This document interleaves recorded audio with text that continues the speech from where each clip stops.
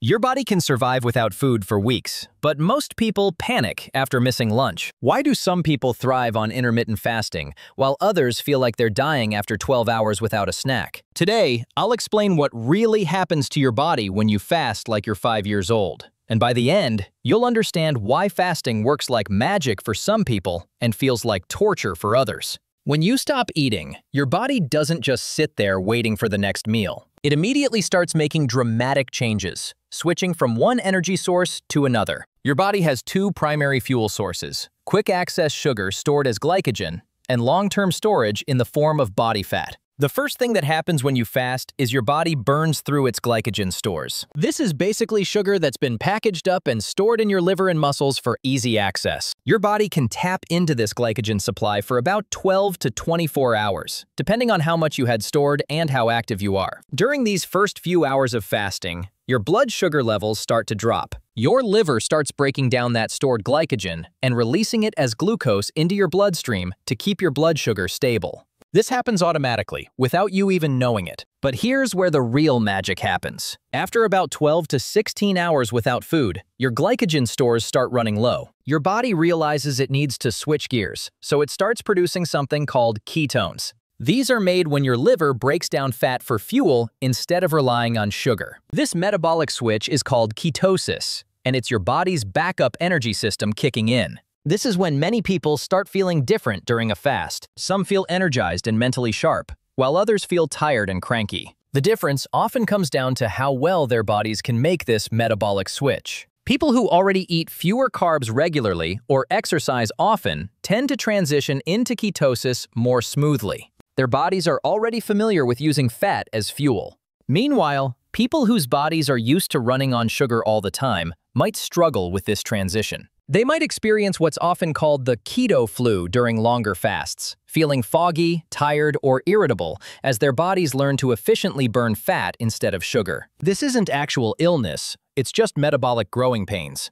Now, here's what most people don't realize. Your hormone levels start shifting in remarkable ways during a fast. Insulin, the hormone that helps your cells absorb sugar from your blood, drops significantly. Lower insulin levels make it easier for your body to access stored fat for energy. This is one of the primary mechanisms behind why fasting can lead to fat loss. At the same time, other hormones start ramping up.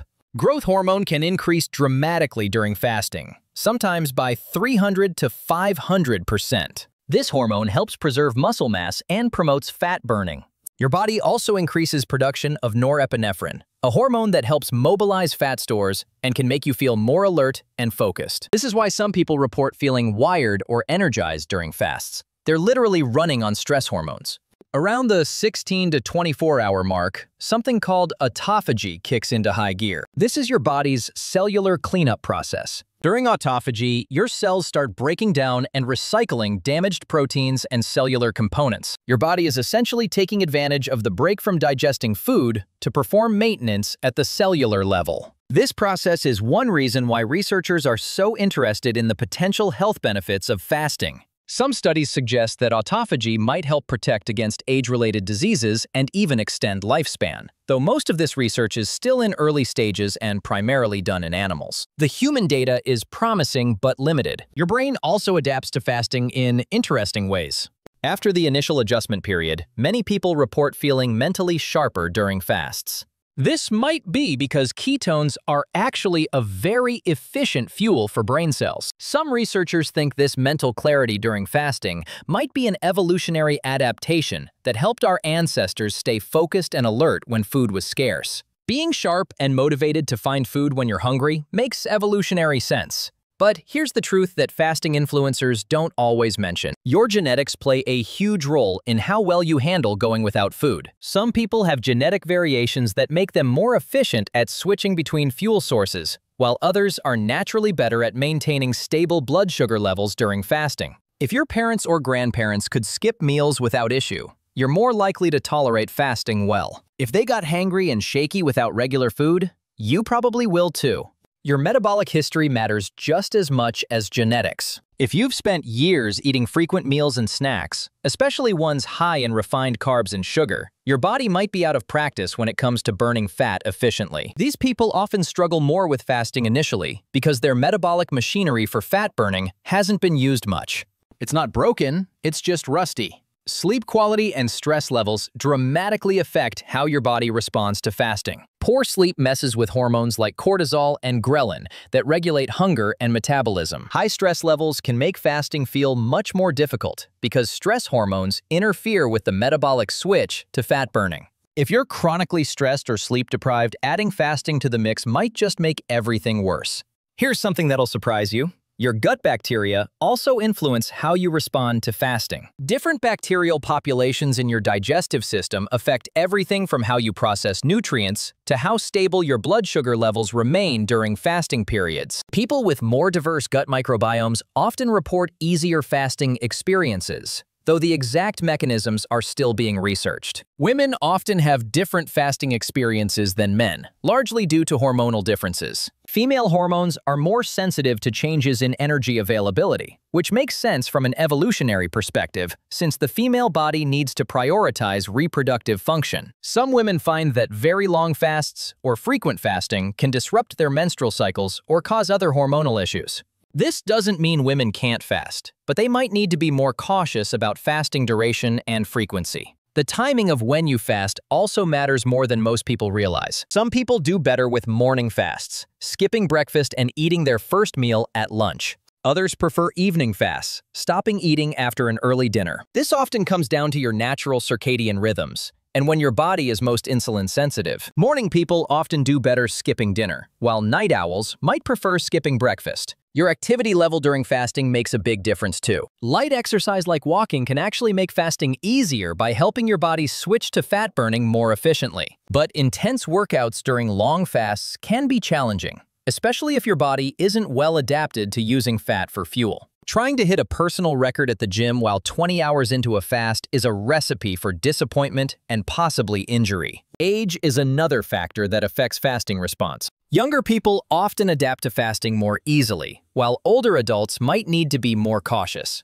especially if they have underlying health conditions or take medications that affect blood sugar. If you're over 60 or have any metabolic conditions, consulting a doctor before starting any fasting regimen isn't just recommended, it's essential.